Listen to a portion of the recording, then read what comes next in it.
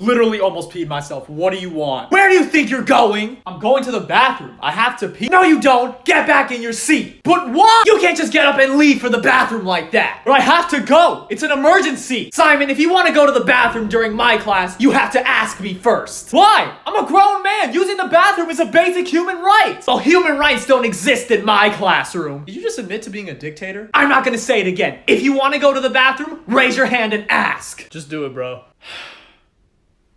Yes, Simon? Can I go to the bathroom? I don't know. Can you?